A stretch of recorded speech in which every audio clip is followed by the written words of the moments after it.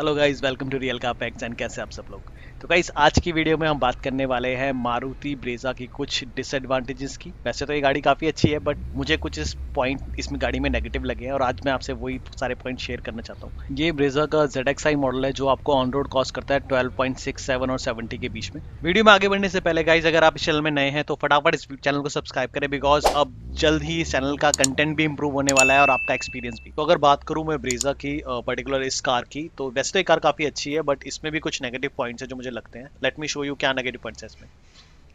तो गाइज़ अगर मैं कार के एक्सटीरियर लुक की बात करूँ तो पहले हम इसका एक्सटीरियर लुक कवर करते हैं कि एक्सटीरियर में से कार में कुछ नेगेटिव्स हैं या नहीं है। तो अगर मैं इसकी साइड प्रोफ़ाइल देखूँ साइड प्रोफ़ाइल काफ़ी अच्छी लगती है कार की। तो जैसे साइड प्रोफ़ाइल में आप ये डोर क्लाइडिंग और ये व्हील आर्च देख रहे हो तो ये लुक काफ़ी सब्जेक्टिव है। कुछ लोगों को ये पसंद आता है बट कुछ लोगों को नहीं आता है। बट इसको मेनटेन करना काफ़ी बड़ा काम है बिकॉज़ इसको काफ़ी टाइम टू टाइम भी आपको इसको पॉलिश करनी पड़ती है। बात करूँ यार, अगर मैं रियर प्रोफ़ाइल की तो रियर प्रोफ़ाइल से कार बहुत ही ज़्यादा अच्छी लगती है। रियर प्रोफ़ाइल में मुझे ऐसा कुछ नहीं लगा जो नेगेटिव मैं आपको बता सकूँ इस कार में। सो ओवरऑल एक्सटीरियर में तो ऐसा कोई नेगेटिव पॉइंट्स है नहीं गाइज़ जो मैं आपको बता सकूँ। बट इंटीरियर में कुछ ऐसे पॉइंट्स हैं जो सच में नेगेटिव है इस कार में। और वही आज मैं आपके आपका डिस्कस करना चाहता हूँ। तो चलिए चलते हैं कार में दिखाता हूँ मैं आपको कुछ नेगेटिव पॉइंट्स इस कार के।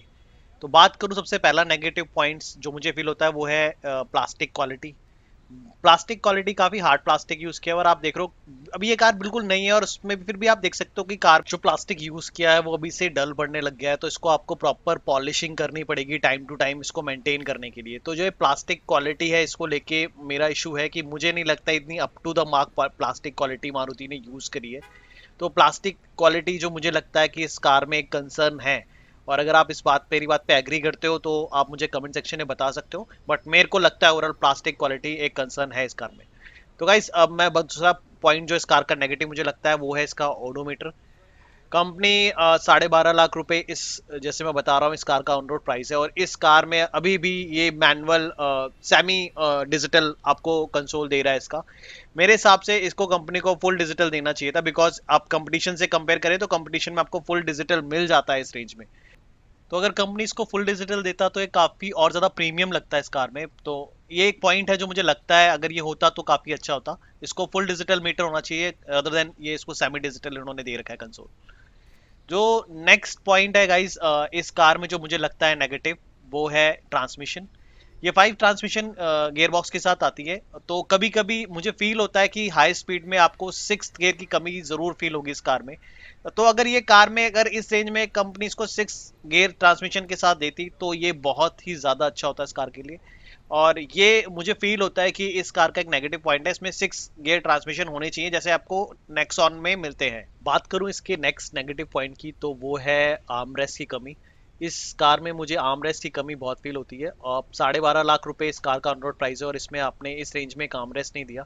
आपको इसमें आर्मरेस्ट प्रोवाइड करना चाहिए बिकॉज़ आर्मरेस्ट एक, अब एक लग्जरी फीचर नहीं, एक नेसेसरी फीचर बन गया बिकॉज़ हाई स्पीड में जब आप क्रूज करते हो तो आपको आर्मरेस्ट की कमी ज़रूर फील होगी कार में। तो इस आर्मरेस्ट को इस कार में होना चाहिए और इस रेंज में अगर आप पैसे ले रहे हो साढ़े बारह लाख रुपए तो एक आर्मरेस्ट देना चाहिए बिकॉज़ आफ्टर मार्केट आर्मरेस्ट का वो फील नहीं आता और वो मज़ा नहीं आता जो एक कंपनी फिटेड आर्मरेस्ट का आता है। इसके अलावा ये कार बहुत बढ़िया है, इसमें और कोई कमी मुझे फील नहीं होती। तो यही कुछ नेगेटिव पॉइंट्स है जो मुझे लगता है इस कार में है। अदरवाइज़ कार बहुत अच्छी है, इसका 1500 सीसी का इंजन आपको एक कंसिस्टेंट पावर देता है। तो आपको ये टर्बो जैसा बूस्ट तो नहीं देगा पावर में बट एक कंसिस्टेंट पावर देगा और आपको फील नहीं होने देगा कि पावर की कमी होगी इस कार में। कार काफ़ी अच्छी है, यही कुछ नेगेटिव पॉइंट्स है जिसको अगर कंपनी सुधार दे तो ये एक बहुत ही अच्छा प्रोडक्ट है मारुति सुजुकी का। तो गाइज़ अगर आप मेरी बात से एग्री करते हो तो आप मुझे कमेंट सेक्शन में बता सकते हो। अगर आपको भी लगता है कि इस कार के ये नेगेटिव पॉइंट्स है तो प्लीज़ मुझे अपनी राय कमेंट सेक्शन में बताएँ और अगर आपको लगता है आप मेरी बात से डिसएग्री करते हैं तो वो भी आप मुझे कमेंट सेक्शन में बता सकते हैं। तो गाइज़ इस वीडियो में इतना ही। अगर आपको ये वीडियो पसंद आए तो please like to this video and subscribe to our channel और जो लोग हमारे साथ जुड़े हैं, हमारी फैमिली का पार्ट बने हैं, उनके लिए thank you so much guys for your support and मैं ट्राई करता रहूँगा कि आपके लिए और अच्छी वीडियो बनाता रहूँ। आप अपनी राय मुझे कमेंट सेक्शन में बता सकते हैं कि अगर आपको स्पेसिफिकली किसी और टॉपिक पे वीडियो चाहिए तो मैं ज़रूर उस टॉपिक पे वीडियो कवर करूँगा। तब तक के लिए thank you so much guys